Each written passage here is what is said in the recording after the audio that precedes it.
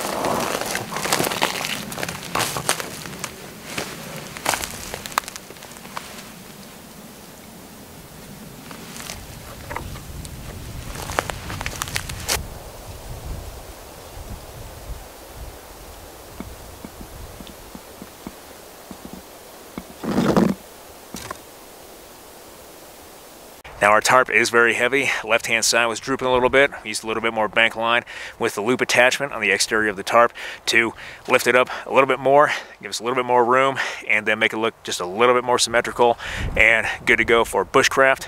I'm kind of like Bob Ross when it comes to bushcraft. There are no mistakes, just happy accidents. All right guys, so we have our shelter up with our oilcloth tarp the same ridge line as usual. We have our 550 cord quick deploy ridge line, our two Prusik knots on the line made out of bank line for our toggles left and right to suspend our shelter. And then earlier we harvested a sapling a little bit bigger than thumb in size and thickness for our tent stakes. And our tent stakes are down at the points of contact anchoring our tarp into the ground and creating our shelter. Now, the oilcloth tarp is great for bushcraft, water resistant, more of a traditional method of shelter. We can use it for a variety of purposes from shelters to suspended shelters to packing our gear in a Roycroft pack frame or bedroll and packing our things in and out, just like we saw this morning when we walked in. One of the disadvantages is that it is very heavy. Now, because it's so heavy, when we set up our shelter, it was drooping in the middle but luckily, with this model of oilcloth tarp, along the, the exterior of the seam, we have attachment loops. And so using a little bit of bank line and then that attachment loop along with the branch above us we're able to attach it to one of the center loops on the exterior of the tarp tighten it up and then raise our shelter a little bit giving us this tent right here with plenty of room to work with. Now all we need to do is find some more debris for our debris bed, and then we can start focusing on fire. Fire's next after that, and then we'll be able to boil our water for coffee and then make our stowaway pot bread for a little bit of a treat. So let's get back to work.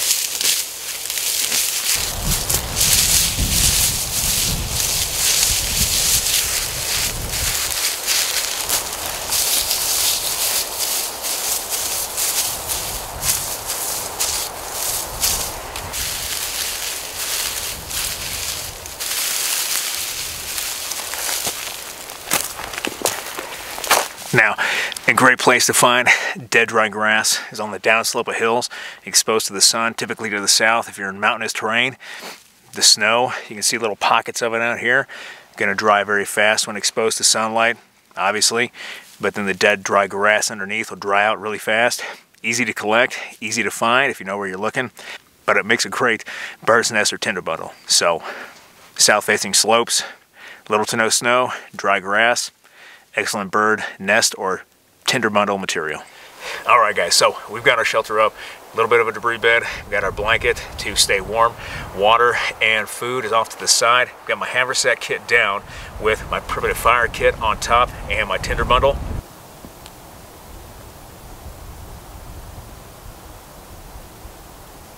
I'm actually to grab a stick here and put it right on top of my tinder bundle so it doesn't blow away. But you'll remember in one of my other videos, we had a video on primitive fire kits and how to use a primitive fire kit and the methodology behind a primitive fire kit. Now in that video, you saw me use this bow drill set. It's just a single set piece of aspen we used for our one piece of wood bow drill set and then we used it for our primitive fire kit the other day.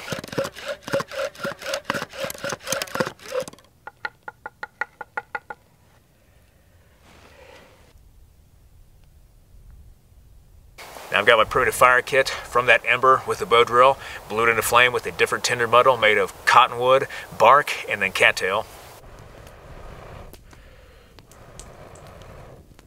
And now we have our primitive fire kit here. And inside that kit we have the tin. Now in that tin we placed cotton material, put that in our last fire to create char cloth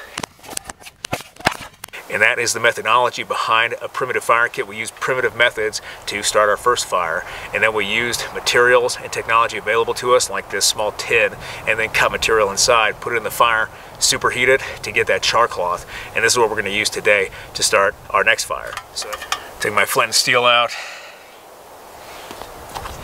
and then we're just going to grab some of this char and place it into our tinder bundle, ready to go. Using another piece of char. We'll use that with our flint and steel to ignite that, place it in our tinder bundle, and blow it into flame.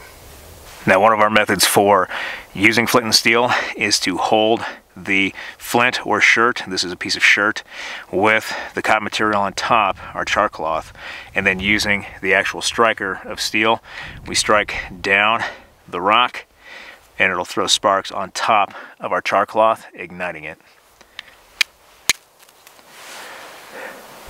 Like so. And then we just take this and we put it inside of our tinder bundle and blow it into flame.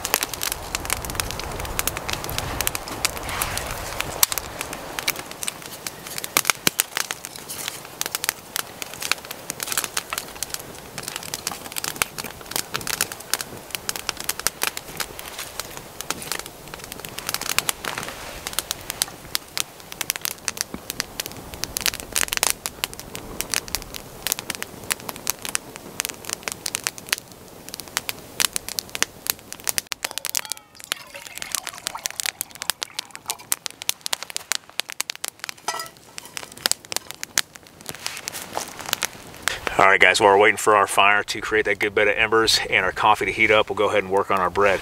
We've got our 475 milliliter or half liter MSR stowaway pot. This is just a nice little pot. This is the same one that I use for a lot of my hunting kits.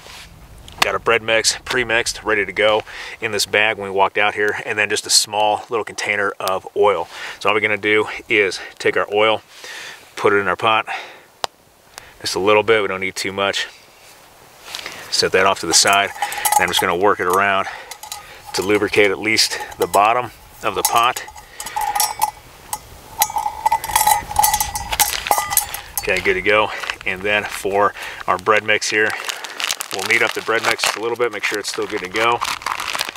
And then the best way we can do this for ourselves to avoid too much headache is the old squeeze method. Cut off the corner of our bag here and then squeeze our bread mix into our pot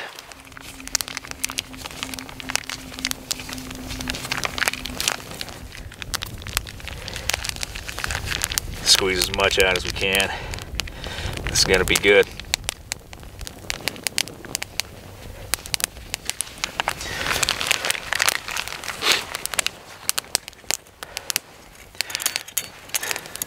All right, there's our bread mix. Doesn't matter exactly how it's gonna lay. This should be good enough for our purposes. Now we just have to wait for a good bed of embers. We'll put our pot on those embers, cover them up with a little bit more embers and let it cook for approximately 20 minutes, continuously checking it to make sure it doesn't get burned, and then we'll pull it out and we'll have delicious bread ready to go.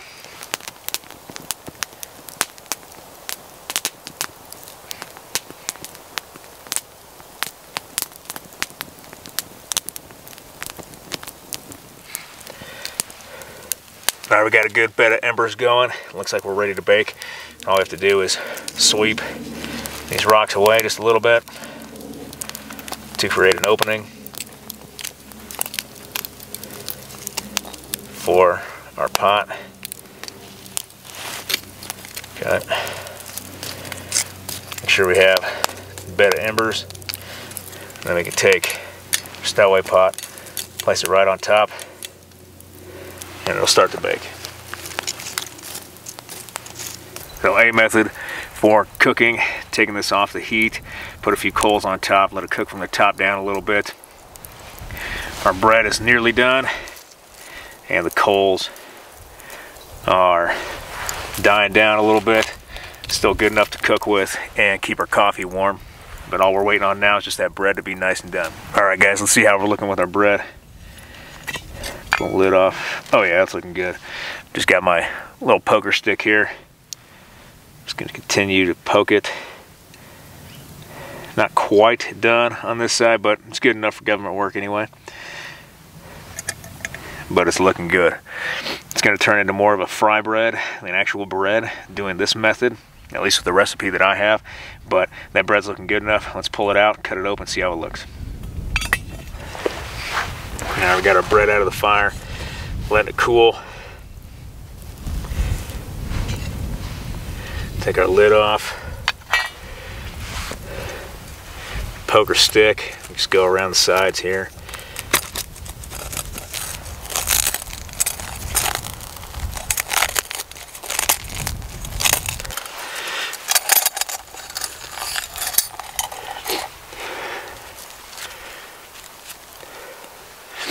All right, here's our bread. You can see it got a little burnt on the bottom. That's all right. Not too worried about it. Oh yeah, look at that. Look at that. Still good. Still good. Now it's time to enjoy our bread and our coffee.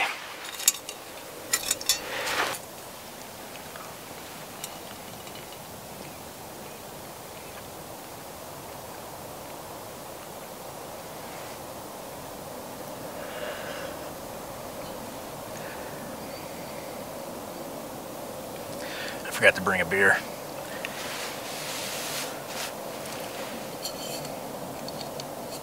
Alright guys, so as one of my favorite YouTubers always says, outstanding. So we got a lot accomplished in this video for our first ever official bushcraft camp video. We got our shelter put up with our oilcloth tarp. We got some tools made, collected a bunch of firewood, collected debris for our debris bed, made a fire using our primitive fire kit and materials we created from our last video. And then we were able to make our bread in our MSR stowaway pot, some coffee, and now we get to sit and enjoy the beautiful scenery that is the Rocky Mountains. I hope you guys like this video. If you did like this video, hit that like button, hit that subscribe button, leave me a comment in the comment section. I always appreciate your feedback. I want to thank you guys for everything you do for me and for the channel, for your likes, your views, your subscriptions, your comments, your feedback, and your shares. And I'll be back with another video as soon as I can, guys. Thanks. Outstanding. Outstanding. Outstanding. Outstanding. Outstanding. Outstanding. I gotta say it just like he does. Outstanding.